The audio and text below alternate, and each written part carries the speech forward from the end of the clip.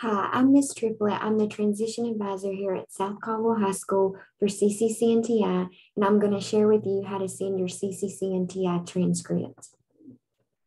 If you have been taking CCC&TI courses through Career and College Promise, and you're applying to other colleges besides CCC&TI, you will want those courses to transfer to the university you're planning to attend. School, the high school transcript is not used for transfer credit. Admissions offices will want to see grades in CCC and TI courses to help with admission decisions.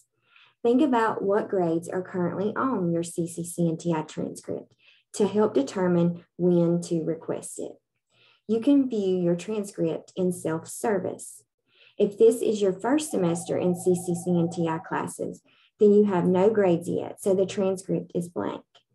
Always follow up with requesting a final CCC&TI transcript after you have graduated so that all final college grades, including the spring grades, are on the transcript and sent to the college or university you decide to attend.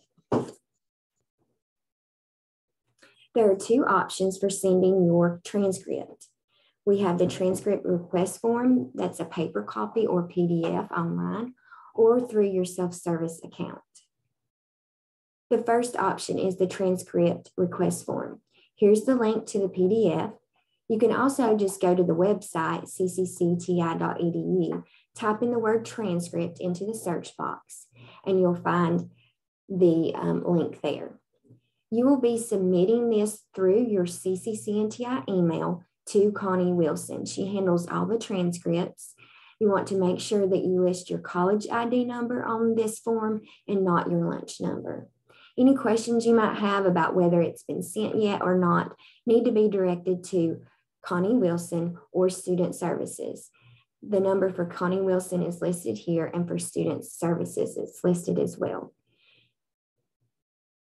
Another way to view your grades and send a transcript is through self-service. So this is how you would log in. Here's the link to self-service. You can also go through your My CCCTI portal page.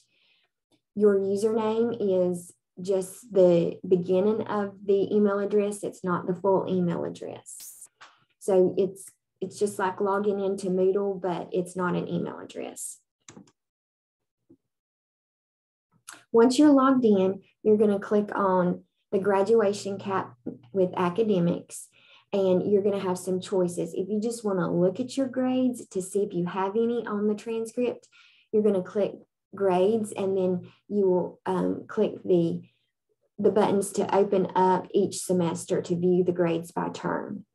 If you want to fit, submit a transcript request, you'll click transcript request. You will click Add New Request and complete the form. These are some of the questions. You want to make sure you are requesting a curriculum transcript. The recipient could be the university name. It could be yourself if you want to pick up the transcript yourself. You can put how many copies you want, special handling. If you would be requesting your transcript, let's say at the beginning of December and the grades are not final in for your college grades yet, you could click um, hold until final grades are available. But most of the time, you're wanting to go ahead and um, request the transcript. And so you'll leave that part blank. Comments could be things like, I will pick up myself, or you could probably um, put other special comments there or directions for records there. If you need any help, just come see me at school or send me an email. Good luck.